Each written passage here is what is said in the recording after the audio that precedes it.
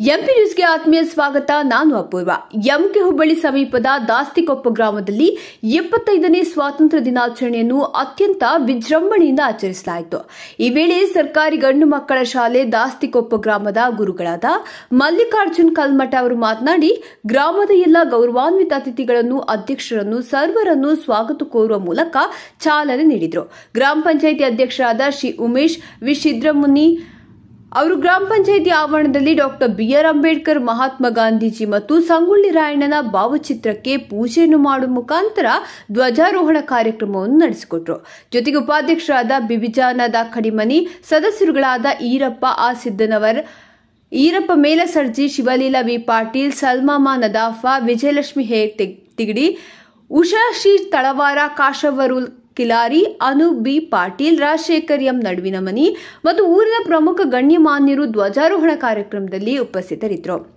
ಸರದಿ ಗ್ರಾಮ ಪಂಚಾಯಿತಿ ಅಧ್ಯಕ್ಷರ ಉಪಸ್ಥಿತಿಯಲ್ಲಿ ಹಾಗೂ ಅಭಿವೃದ್ಧಿ ಅಧಿಕಾರಿಗಳ ಶ್ರೀಮತಿ ರಾಜಶೇಖರ್ ಪಟ್ಟಣ್ ಶೆಟ್ಟಿ ಮುಂದಾಳತ್ವದಲ್ಲಿ ಗ್ರಾಮ ಪಂಚಾಯಿತಿಯ ಕಾರ್ಯದಲ್ಲಿ ದಿನಾಂಕ ಹದಿನೈದು ಎಂಟು ಎರಡ್ ಸಾವಿರದ ಇಪ್ಪತ್ತೊಂದರಂದು ಸ್ವಾತಂತ್ರ್ಯೋತ್ಸವ ಆಚರಣೆಯನ್ನು ಮಾಡುವ ಮೂಲಕ ಕಾರ್ಯಾಲಯದ ವತಿಯಿಂದ ಗ್ರಾಮ ಪಂಚಾಯಿತಿ ವ್ಯಾಪ್ತಿಗೆ ಬರುವ ದಾಸ್ತಿಕೊಪ್ಪ ವೀರಪುರ ಅಮರಪುರ ಗ್ರಾಮಗಳಿಗೆ ಎಸ್ಸಿ ಎಸ್ಟಿ ಅನುದಾನದಲ್ಲಿ ಟೈಲರಿಂಗ್ ಯಂತ್ರ ವಿತರಿಸಲಾಯಿತು ಹಾಗೂ ಮೂರು ಗ್ರಾಮದ ಅಂಗನವಾಡಿಗಳಿಗೆ ಸಮಾನಾಗಿ ಅಂಗನವಾಡಿ ಕೇಂದ್ರಗಳಿಗೆ ಶಾಲಾ ಮಕ್ಕಳಿಗೆ ಕೂಡಲು ಕುರ್ಚಿ ನೀಡಲಾಯಿತು ಹಾಗೂ ಅಂಗವಿಕಲರಿಗೆ ತ್ರಿಚಕ್ರ ಸೈಕಲ್ ವಿತರಿಸಲಾಯಿತು.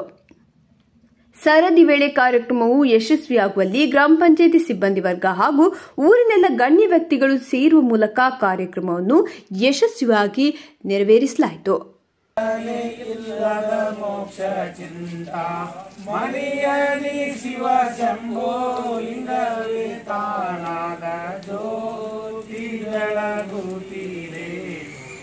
पारं ज्योतिजलगोपी